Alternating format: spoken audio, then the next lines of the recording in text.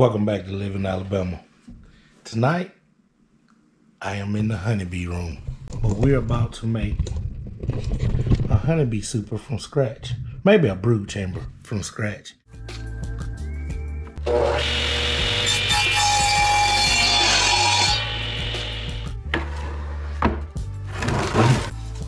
Once upon a time, this was a tree that we cut down.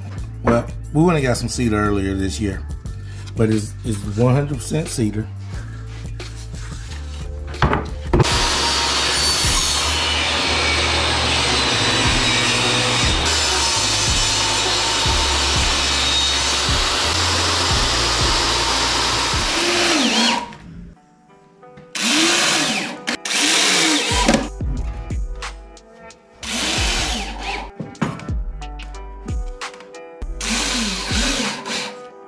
see you.